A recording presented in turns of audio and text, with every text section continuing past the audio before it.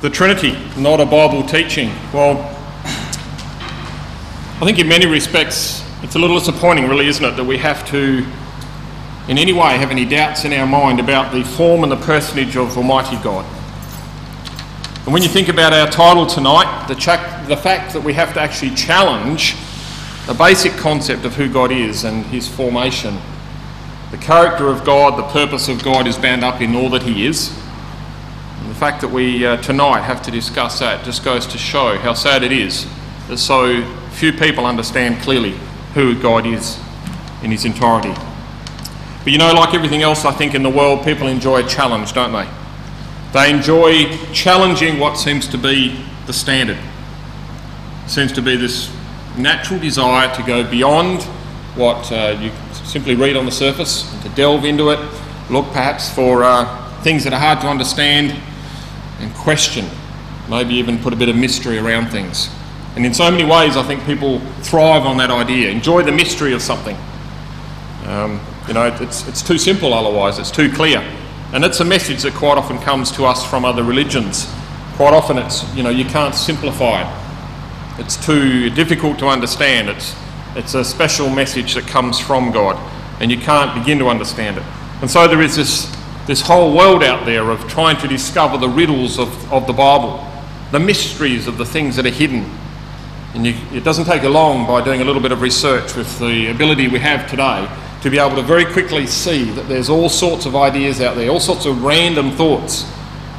There's no end to what could be and maybe, and everybody's got their own little agenda that they're pushing. And it's absolutely no different in religion, of course. I think we can safely say that most religions of the world are based on some form of hidden messages or some sort of mystery some way in which the message isn't clear.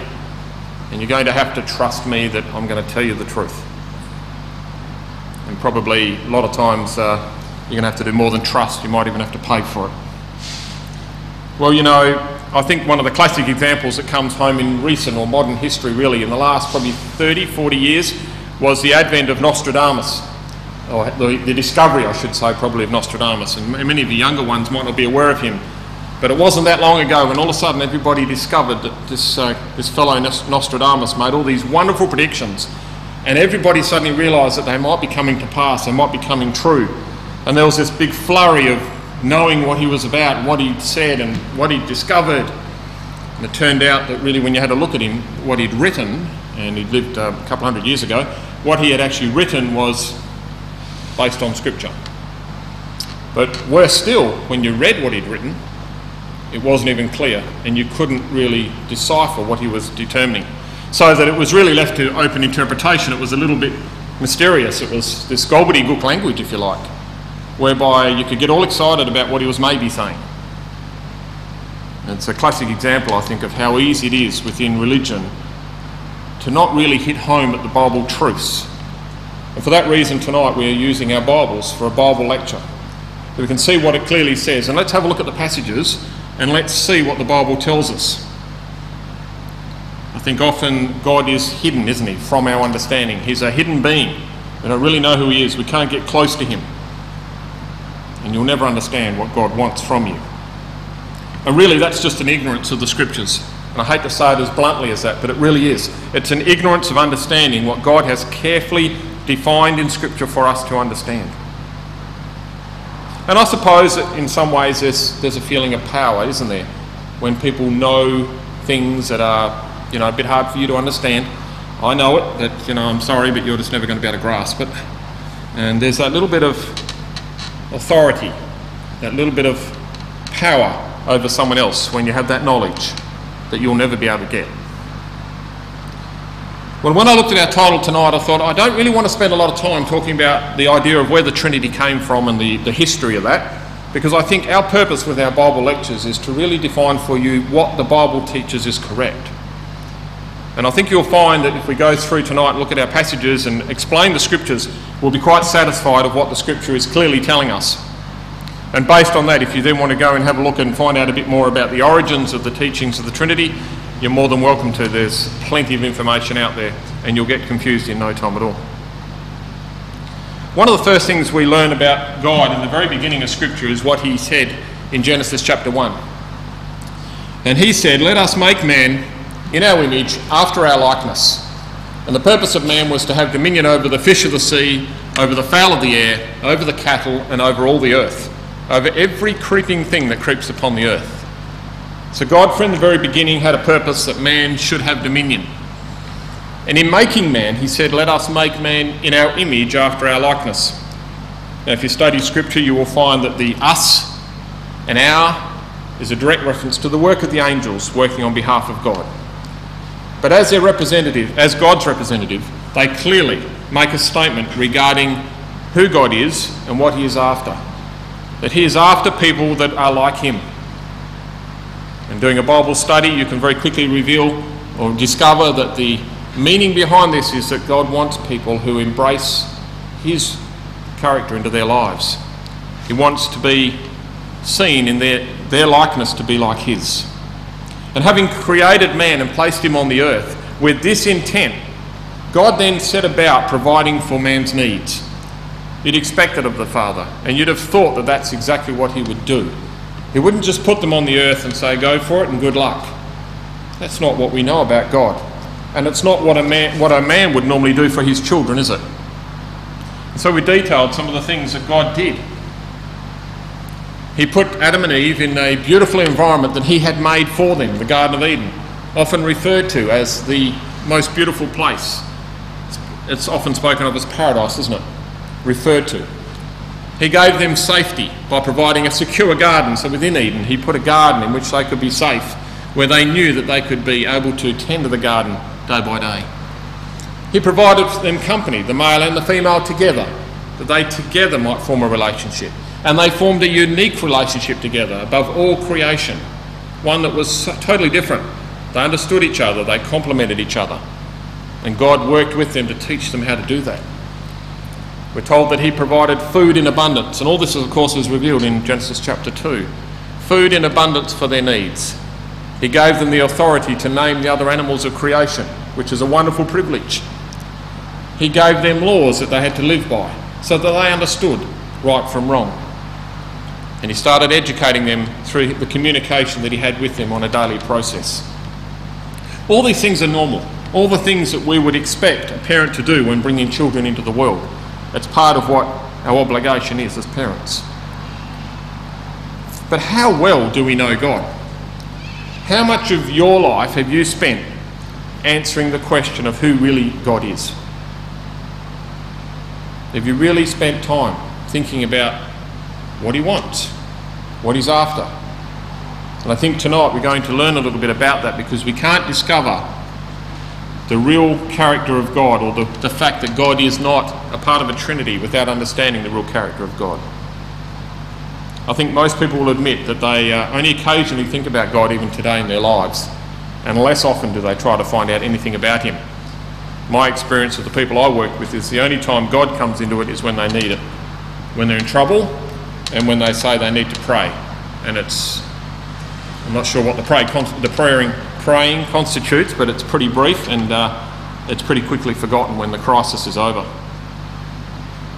But did you know that within Scripture, it's a fundamental requirement of God that we come to know Him as a person, that we come to know His character. That's a fundamental requirement. And I think that's an important thing to remember as we start tonight. It's an absolutely essential thing that we know the character of God. Not just that He is God, not just that He is in heaven, not just that He is the almighty power, but, uh, but to understand who God really is. And if there's to be any chance of understanding anything about our lives and our purpose on the earth, how we fit into God's plans, we've got to find out what He wants from us. I'd like to turn to John chapter 17 to start with the uh, words of the Lord Jesus Christ, and many of you will be very familiar with his words. As he, as he spoke this prayer to God, one of the final prayers that he uttered before his crucifixion. Very important chapter, and we're going to refer to it at another time further on tonight. But initially, at the beginning of the chapter, where John's, uh, when John records the prayer of Christ, we read in John 17 and verse 1 These words spake Jesus and lifted up his eyes to heaven, and he said, Father, the hour is come. Glorify thy Son, that the Son, thy Son may glorify thee. And I want you to note that as we go through Scripture, you'll very clearly see that Christ whenever communicating with the Father, spoke to him as a separate person, not as if he was speaking to himself, which I know might sound rather strange. He says in verse 2 As thou hast given the Son power over all flesh, that he should give eternal life to as many as you have given him. So Christ is now speaking about eternal life, that Christ has the power to give it. And what we learn from that is that obviously eternal life is not a given, it's not just something we have. In fact, in verse 3, he says, This is life eternal. Here's the key to what life eternal is, he says. And what is it? That they might know thee, that they might know God, the only true God, and Jesus Christ, who has been sent on God's behalf. So here it is. He says, God's given him the power to extend eternal life. Therefore, we don't already have it. And he says, if you want the key to it, you've got to come to know the only true God. Now, there's a lot of gods out there. There's a lot of gods out there, and there's a lot of things to be worshipped. But he says here that you have, the Lord Jesus Christ says you have to get to know who is the only true God. And not only that, you also have to get to know Jesus Christ, whom God has sent. And if God has sent him and you want to know him, then you probably have to know why God has sent him, and we'll touch on that too. So, the key out of this, these verses here is that life eternal is not something we take for granted, it's not something we have already, and there's something important to know about the character of God. I want to explore that a little bit by looking at some quotes. This is what the apostles wrote when they were preaching or extending the word of God to other people. They said, Moreover, brethren, I declare unto you the gospel that I preached unto you. And I'm sure you're familiar with the term the gospel. This good news that Christ came to teach. It says, This gospel I preached unto you, which also you have received, and wherein you stand. So you're in the gospel. By which also, he says, you are saved. This is interesting because we've been talking about eternal life. And the apostle is saying that bound up in the gospel is this ability to be saved. And the only thing we need to be saved from is death, isn't it? In the ultimate sense, if you want eternal life, you need to be saved from death. He says, This gospel is able to give you that salvation. He goes on to say that if you keep in memory what I preached unto you, what does he say he preached unto you? He says, oh, I declare unto you the gospel which I preached unto you. If you keep that in memory, he said, then you're able to be saved. Again, he reiterates it in verse 3 I delivered unto you, first of all, that which also I received, how that Christ died for our sins according to the Scriptures. So now we're starting to learn a little, little bit, aren't we? We're starting to find out that the gospel is about being saved. And bound up in that, what he delivered to them was how Christ died for our sins according to the Scriptures. Now, that's complemented when we go and look at Romans chapter 1. The Apostle wrote, he said, I'm not ashamed of the gospel of Christ. Now, here we have that reference again, don't we, to the gospel. I'm not ashamed of the gospel of Christ. Why not? Because it is the power of God unto salvation. It is the power that God has given us to be saved. How? To everyone that believes, whether you're a Jew or whether you're a non Jew. To anybody who believes, the gospel is the power of God to be saved. It's the power of God to bring you to eternal life. So there's some a couple of quotes that are very powerful, really, in their own right, aren't they? When they, they reveal to us God's purpose. And bound up in that purpose is the work of Christ. It's the gospel of Christ. And it's very clearly segregated from the power of God unto salvation. Christ came to preach the gospel. In that is the power of God as a separate identity. And what was the purpose of Christ? We've already read that it was that he, through the crucifixion, through his own death, should be able to bring forth salvation to mankind. Look at the words that he uttered to one of the elders, Nicodemus, one of the elders in the land at the time. He said, As Moses lifted up the serpent in the wilderness, even so must the Son of Man be lifted up. So the Lord's referring back to an incident in the wilderness when the children of Israel were plagued by serpents. And Moses was told by God to put a serpent on a stake. And by looking at that serpent, they could be saved. And there was a lesson behind that because Christ said, in the same way, the Son of Man, or himself he's talking about, had to be lifted up, to put on a stake. Why? That whosoever believeth in him should not perish, but have eternal life. We've just spoken about eternal life, haven't we? And that Jesus has just said that to know God is part of eternal life. Now he's telling us that to understand and believe in Christ is to have eternal life. But look what he says here in verse 16. For God so loved the world that he gave his only begotten Son, that whosoever believeth in him should not perish but have everlasting life. So God's the one that's given the Son. It doesn't say God has given himself. It doesn't say that God gave a part of himself. It says God, through his love for the world, gave his only begotten Son, in order that those who believe in him would have everlasting life. God didn't send his Son in the world to condemn the world, but that he might be able to save people. So God very clearly had a purpose in providing Christ. Very clearly, then, Christ was a part of that purpose. He was independent of God Himself. He had to be in order that He could work out the salvation of God's purpose. I think God giving his, his Son is hardly the language of Son being God Himself, is it? Well, what's the scriptural teaching about God? Let's go back to Deuteronomy chapter 6. And most of us will be familiar again with Deuteronomy 6, but let's have a look at what it tells us because it's, it's important to understand the way in which things are reiterated in Scripture. Here's a consistent message of the Old Testament. And you might say, well, it's interesting to be in the Old Testament because the Old Testament is being done away with. There's now the New Testament, and the New Testament's replaced the Old Testament. You know, we've got a God of love now, not the God of judgment in the, in the Old Testament. But if you really study your Bible, you'll come to understand that the Old Testament is essential to understand the New Testament.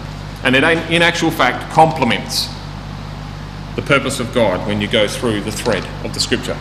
So in Deuteronomy 6, we read in verse 1 Now these are the commandments, the statutes, and the judgments which the Lord your God commanded to teach you, that you might do them in the land whither you go to possess it. So the children of Israel have left Egypt, they're on the way up to the land of Israel. And Moses says, you know, this is important. Look at the things he says here. There's the commandments of God, there's the statutes of God, there's the judgments of God, and God wants you to be taught them, he says, because you've got to do them when you get into the land. It's important that you understand what to do. In verse 2, that you might fear or reverence, as it should be, the Lord your God. To do what? Oh, we're going to hear it again. To keep all his statutes and his commandments, which I command you thy sons and thy sons' sons, all the days of your life, that thy days may be prolonged. So he's now repeated it, hasn't he? He said it's important that you do this because it'll give you length of life. God will bless you. Verse 3 Listen, hear therefore, O Israel, and observe to do it. Not just hear it, but do it. Why? That it may be well with thee, and that you may increase mightily, as the Lord God of your fathers has promised you in the land that God's promised, flowing with milk and honey. It's very clear that this is important, what Moses is about to say. He's really stressed it in three verses here, hasn't he? There's a, a fundamental blessing behind what he has to say. And verse 4, the first thing he says, Hear, O Israel, the Lord our God is one Lord. And then he goes on to say, you, you have to learn to love the Lord your God with all your heart, with all your soul, with all your might. And the words that I command you this day, you need to keep it in your heart. You've got to teach it, he says in verse 7, to your children. You've got to be, it's got to be a part of your life. Because there's only one way you can come to know God, and that's if He is a part of your life. How do you know your best friend?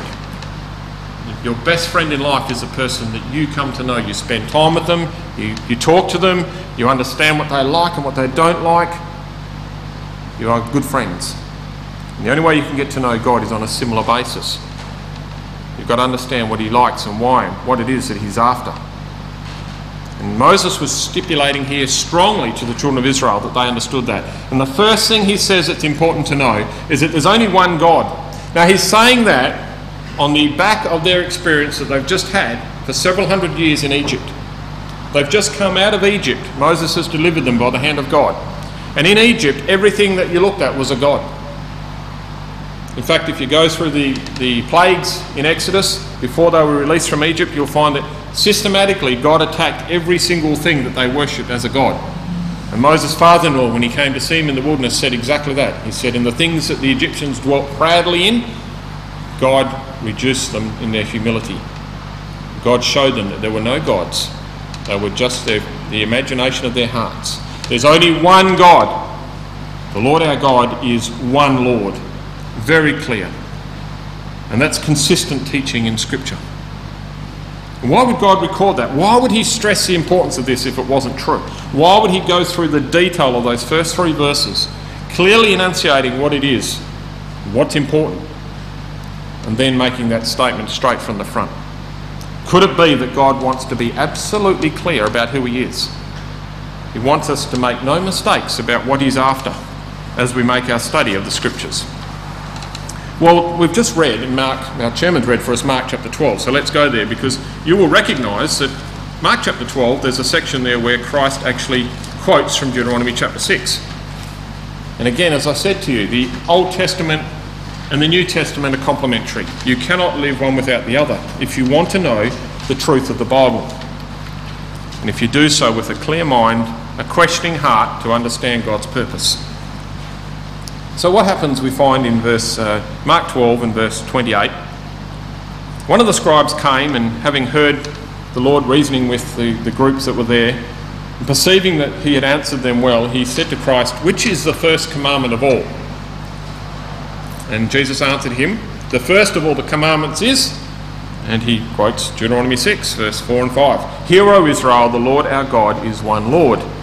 Thou shalt love the Lord thy God with all thy heart, with all thy soul, and with all thy mind, and with all thy strength. This is the first commandment. The second is like, namely, this Thou shalt love thy neighbour as thyself. There is no other commandments greater than these. So the greatest two commandments are here portrayed for us.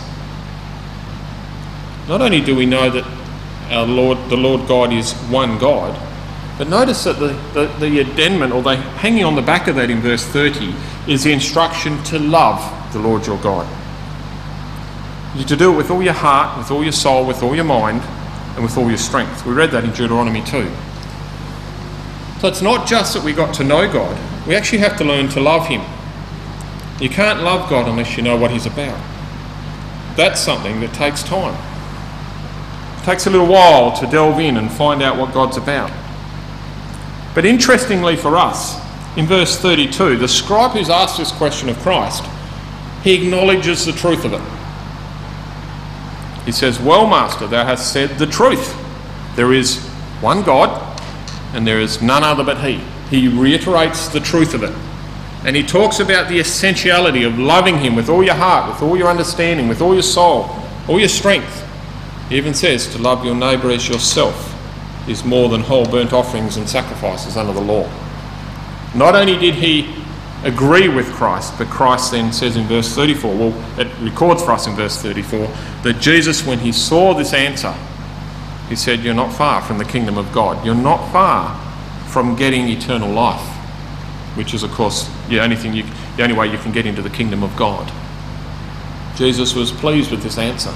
He saw it as a fundamental truth. Now, if Jesus was a part of God, and he was one of the three, surely he would be challenging that. Surely he would saying, he'd be saying, "Well, let me set you straight. You're, you're reading from the Old Testament, and that's not no longer correct because we, you know, we just we just said that because that's what we said back then. We don't say that anymore. We're actually uh, we've changed things a bit. There was nothing of that sort, was there? Well, Master, thou hast said the truth. There is one God, and Jesus is pleased with the answer. There's no way in which Christ, if you examine him and understand his preaching, was ever going to falsely represent God on this earth. And did the scribe, when he had finished his conversation with Christ, did he leave this conversation believing that Jesus was part of God himself? Did he leave this thinking that he'd just spoken for one of the Trinity, one member of the Trinity? Would he be eligible to enter into the kingdom of God, thinking that God was one of three and that he was actually confused with the fundamental understanding of the first commandment? I don't think so. Have a look at what the apostles taught as they went about preaching the truth. Paul told Timothy, he said, There is one God, and there's one mediator between God and men, the man, Christ Jesus. This is written after Christ has resurrected and gone to the Father. There's one God, he says. There's only one God. He says there's one mediator between God and men. And in the scripture, a mediator is between God and men is always takes the message from God to man, never from man to God. So Christ is that mediator, and he's defined as the man Jesus. Very clearly. Here he is sitting on the right hand of God, and he's still the man Jesus. Not the God Jesus, not the man God, not the Son God, not anything else you want to call it. And why was Paul so clearly telling Timothy here that Christ Jesus was the man? Because he understood him and his purpose to be the man who brought salvation to the earth. Again in Acts 2, ye men of Israel, hear these words Jesus of Nazareth, after he's resurrected, a man approved of God. God approved him. He didn't approve himself, he needed approval from God. And he was approved by the miracles and wonders and signs that he did. God did them by him in the midst of you. God gave him the power to do those things in their midst. And he says, You know that. You saw it. You witnessed it. You saw that he was a man that was approved of God to do the miracles that God had allowed him to do. He's very clear on that. Further on in Acts, God anointed Jesus of Nazareth with that power, and he went about doing good and healing all that were oppressed of the devil, for God was with him. And why do we have to know that if he is God? And why do we have to know that God was with him if he already was God? It's a, it's a given, isn't it? It's, it's something we would be foolish not to understand. And God actually anointed him with the Holy Spirit. He didn't have it already. If he was part of the Trinity and the Holy Spirit was, he would be part of it. He didn't need to be anointed. He didn't need God to do anything. Or is it perhaps that the apostles had it all wrong when they went out to preach the gospel and they didn't clearly understand how Christ would fit in with the Godhead? A bit further on in 1 Corinthians, and I'm just giving you a few to think about. Unto us there is but one God, the Father, of whom are all things, and we are in him. And there's one Lord Jesus Christ, by whom are all things, and we by him. And so there's God the Father, of whom are all things, but then there is the Lord Jesus Christ, by whom we have that hope, by whom we have the promise. By his gospel, we have the ability to come near to God. He says, Howbeit, there is not in every man that knowledge, there's not that understanding. The apostles were dealing with people who didn't clearly understand the purpose of God in his Son. We need to be clear on it. Ephesians 4 One God and Father of all, who is above all and through all and in you all. It's pretty clear, isn't it? And within Scripture, I can find no reference, no reference at all to God being more than one, a part of a triune Godhead. I can see no reference. It always speaks of Jesus as the Son who never had the authority of the Father. Very clearly defines that Jesus did not have the authority of his Father.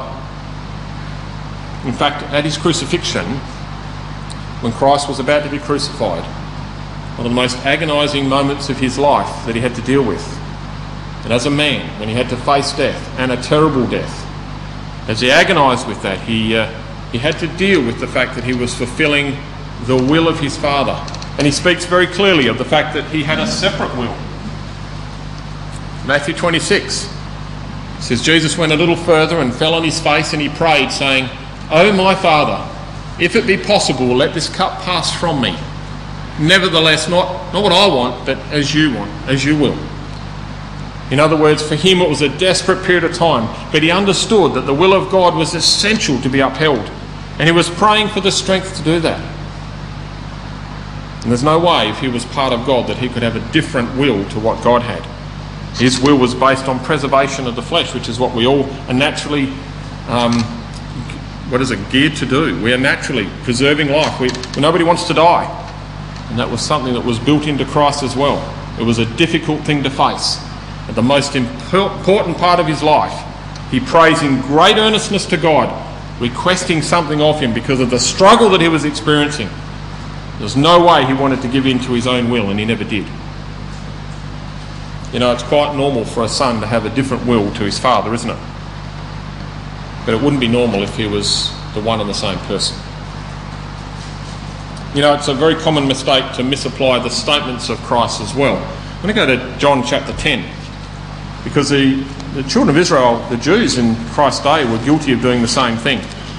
They misquoted Christ. They accused him of the same things, of being part of God that they didn't understand.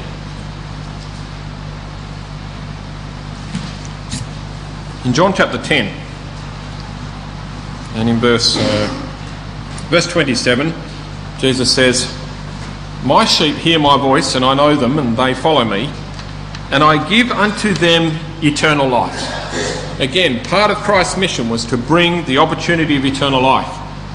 And he says, They shall never perish, these sheep of mine, neither shall any man pluck them out of my hand if they are in the protection of Christ. Verse 29 My Father gave me them. My Father, sorry, which gave them me, is greater than all. No man is able to pluck them out of my Father's hand. So he says, God is the Almighty being. But then he makes this statement in verse 30 I and my Father are one. And it's a statement which can be very challenging for people who are seeing this on face value. Look at the Jews' reaction in verse 31. The Jews took up stones to stone him. And he responded in verse 32 Many good works have I showed you of my Father. For which of those works do you stone me? And the Jews answered him, saying, Oh, for a good work we won't stone you, but because of blasphemy, because you, being a man, have made yourself God. And he hadn't, had he? It actually said that I and my Father are one because he was talking about the purpose of God. He was standing there before them talking about the way in which he was working to bring people to eternal life. That was God's purpose. That's what he was there for. Look at verse 36. He says, Say ye of whom whom the Father him of whom the Father has sanctified. Talking about himself in the third person. You say of him whom the Father hath sanctified and sent into the world, Thou blasphemest, because I said, I am the Son of God. Jesus had never said he was God the Son. He'd always said he was the Son of God. But he and his Father were at one mind, they were of one purpose. And the Jews made the mistake of not listening carefully to what he had to say. We can't afford to make the same mistake. John 17, we've just uh, looked at it, we'll go back to it. I said we come back to it. In John 17, further on in the prayer, when the Lord Jesus Christ was again appealing to the Father for the safety of his disciples. And in verse, um, John 17 and verse 18, he says to God, As thou hast sent me into the world, even so have I also sent those disciples into the world. And for their sakes I sanctify myself, that they also might be sanctified through the truth. He says in verse 20, I'm not praying for these alone, but for them also which shall believe on me through their word. Anybody who believes on his word, he prays for. Verse 21 is interesting. He says, Why? I'm praying that they all may be one, as thou, Father, art in me, and I in thee, that they also may be one in us. Now, if you were taking this on face value and literally as they did in John 10, you would say, well, Christ is teaching that we can be part of the Trinity. But of course, he's not. He's talking about singleness of purpose and mind, isn't he? He has to be when he talks about all those that are yet to believe that they might be of one mind, of one purpose, fulfilling what God has required of them. When we understand that, it changes the understanding of Scripture right through. Because then we begin to understand that God and Jesus were perfectly unified in their purpose. Christ came to achieve something which his Father had sent him for, and he was absolutely determined to achieve it. He had that singleness of mind, and he wants you and I to have the same singleness. He wants you and I to be devoted to doing God's will. He wants you and I to be of the same mind as God. And you can't do that if you don't know what God's mind is. How could Jesus be praying to the Father here if he was God himself anyway? What's he doing? Is he asking himself for himself? It's absolute foolishness. Interestingly, when you look at James chapter 1, James says, Let no man say when he is tempted, I am tempted of God. For God cannot be tempted of evil, neither tempteth he any man. When we're introduced to the ministry of Christ, we're told that he was tempted for 40 days. And yet we're also told that God cannot be tempted with evil. There's absolutely no doubt that Christ was not God. Otherwise, the temptation would have had no effect on him. God cannot be tempted. Again in Mark 15, as the Lord was on the cross, in the ninth hour, Jesus cried with a loud voice, saying, Eli, Eli, Lama Sabachthani, which is being interpreted, My God, my God, why hast thou forsaken me? And here's Jesus praying to God as a separate individual to God. Why would he call out to God in his deepest need if it was calling out to himself? Why would he call out to God for help in many ways if he was the only one that could help himself? Let's have a look at uh, Mark chapter 13 because the work that the Lord did in his life was designed to support the Father, his Father, in every way. What I'm really bringing home to you is the importance of Christ's purpose and his mission in complementing what God wanted. And when you understand that, you understand how foolish it is to understand that God could ever be part of a Trinity. Mark 13 and verse um, 32, the Lord's talking about the, the kingdom on earth and the time in which God will intervene. But he says to the disciples in verse 32, Of the day and the hour that God will do this, he says, knoweth no man, not even the angels that are in heaven, neither me, the Son, but the Father only. He clearly says here there's no person, there's no angels, there's no Son that knows the purpose of God for this time but the Father. The only one that knows the time when this will take place is God Himself. And we, we see that again in Acts chapter 1. Again, let's go to that. But I'm sure you're familiar with the words of Acts 1, where the apostles, after Christ had risen, they asked him and said, Are you going to set up the kingdom now? We know that you're going to be the king of all the earth. Are you about to do it? What's the timing? And he tells them, Well, again, it's only the Father that knows this. Verse 6 of Acts 1. When they were therefore were come together, they asked him, saying, Lord, will you again at this time restore the kingdom of Israel? Are you going to do it now? We know that's what it's about. And he said unto them, He didn't say, Oh, what kingdom? What are you talking about? No, he didn't say that. He said, I can't tell you the time or the seasons. That's in the Father's power. That's what God has in his power. It's not for you to know these things. Very clearly, Jesus was saying to them, there are things that God has in control that are yet to be revealed to him. So, how could he be considered part of God himself?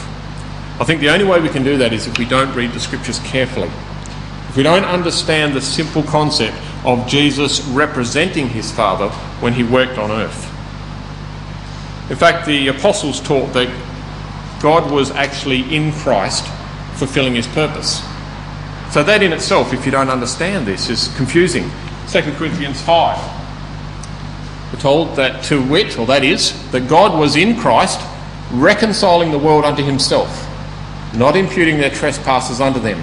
And he has committed unto us the word of reconciliation. So here's the work of God in Christ. Christ has already said, I came to do my Father's will. I don't speak anything unless it's the words of my Father. They're the things he said. And so God's, the apostle says, God was working in Christ to reconcile the world to himself. Christ was the tool that he used in order to achieve that outcome. And then further, the apostle says in Hebrews 2 that God, Christ was a man like us, wherefore in all things it behoved him to be made like unto his brethren, that he might be merciful and faithful high priest in things pertaining to God, to make reconciliation for the sins of the people. There it is, the Lord Jesus Christ was made like unto us, in that he was a man and not God himself.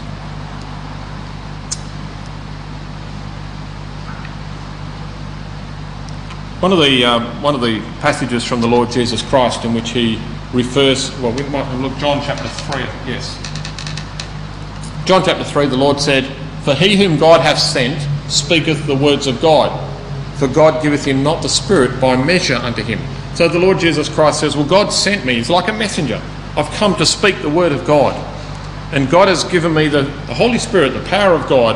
To be able to do that in, actually in every ability that God can give him. And so the Lord himself recognised that the power of God was within him to achieve God's outcome, not his. So when we know the scripture, when we understand how there is this difference between God and the Son, we understand perfectly how God is a father, but he cannot be a part of a trinity. And so where does our obligation lie? What is it that we do with this information? Well, John chapter 4, the Lord said to the woman of Samaria when he was talking to her, He said, The hour comes and now is when true worshippers shall worship the Father in spirit and in truth. For the Father seeks such to worship him. In plain language, he's saying the thing that God wants is for people to worship him honestly, in spirit and in truth, because he's seeking them. He's looking for them. He's looking for people who want to search, search him out themselves and that they worship him in the right way. He doesn't say God's looking for people that worship us. Uh, God's looking for people that understand uh, the three of us. Doesn't say that. God is looking for those that worship Him as a Father. And not just as a God, but as a Father. Someone who loves them and brings them up as His children. You know, when uh, the angel came to Mary before she gave birth to Christ, he spoke to her about Christ being a king on the throne of David. He made references to the promises that God had made to King David that one day there would be a king on his throne ruling over all the earth. It's a, it's a promise, it's a fundamental belief in Scripture. It's one that everybody in Israel believed in. Every person understood the promises to David. They were all waiting for this Messiah to come. They all hoped for that day when he would be there. Romans 15. Paul says, Now I say that Jesus Christ was a minister of the circumcision, or the Jews, for the truth of God to confirm the promises that were made unto the fathers. Bound up in the work of Christ was to confirm those promises. He fulfilled the words of that angel when he spoke to Mary. It was the completion of those promises. And yet he still has to come in order to establish that throne of David, to fulfill that promise in its entirety. And the Apostle Paul taught after the Lord's resurrection that those promises have been confirmed, but we have yet to see them outworked. And we saw in John 3 that the Lord has to be, or had to be lifted up. He had to be crucified. Again, that was an essential part of God's redemptive work if we are to be saved. That's another subject in itself. But through his perfect life, through Christ's willing death, if we associate with those things, we too can see the opportunity of salvation. Matthew 28, the Lord said to the disciples, He said, I want you to go and teach all nations I want to baptize them in the name of the Father, in the name of the Son, and in the power of the Holy Spirit, teaching people to observe all things, whatever I've commanded you. And lo, I'm with you always, even unto the end of the earth. And notice how he differentiates between those three. In the name of God the Father, in the name of the Son that came to do his work, and in the name of the Holy Spirit who's revealed in Scriptures to be the power of God. And we have to do all things. We have to do all things observing God's commandments. And there's an instruction now that brings it home personally to us. There's a personal instruction now. You understand who God really is. You know briefly that God came, that Christ came to do the purpose of God, and bound up in that is a lot of detail. But you have enough information now to know that God requires of you to act upon that. Look at the words of the apostle when he spoke to the Corinthians, and I, this is one of my favourite quotes, and I've got it in the dialogue so that hopefully it's a bit easier to understand. Paul says, Christ didn't send me to baptize, but to announce the glad tidings, otherwise known as the gospel, not in wisdom of speech, so that the cross of Christ may be frustrated.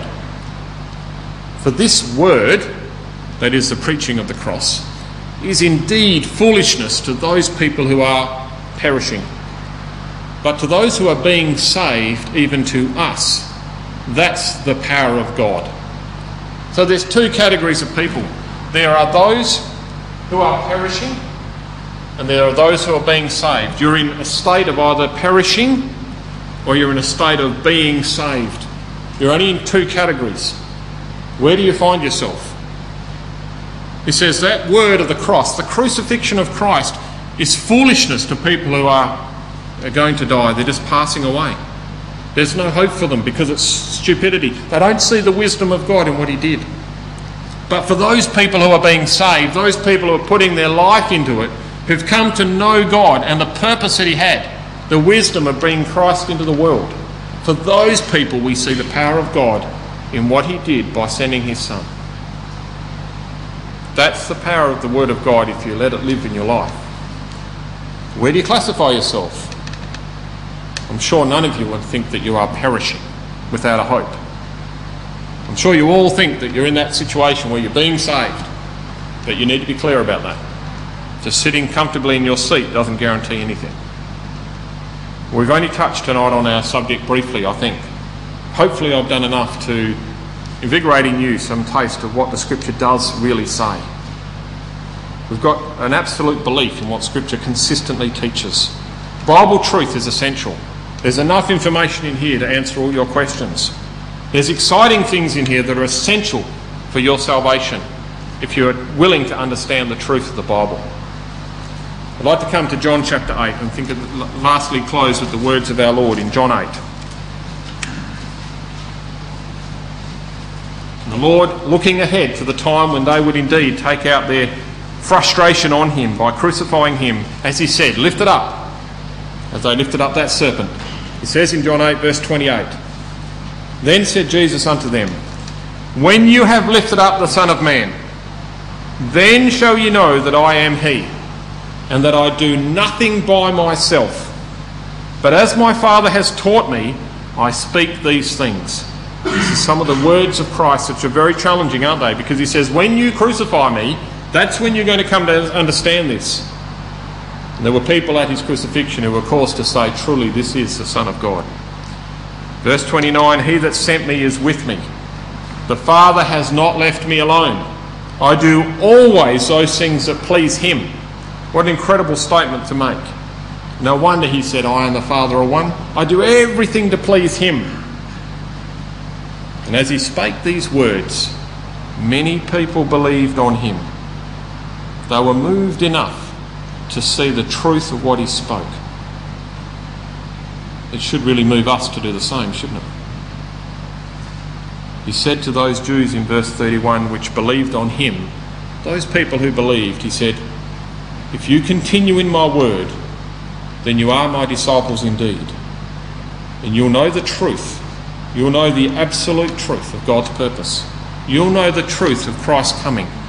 The truth of Christ's plan of salvation through the work, the work of Christ through God. And you'll know that the truth will make you free. It will make you free from condemnation, free from all the foolishness of this world, which wants you to believe in all the mysteries that take you away from God. I hope you have enough in which to excite yourself to explore the Word of God and look for your own salvation.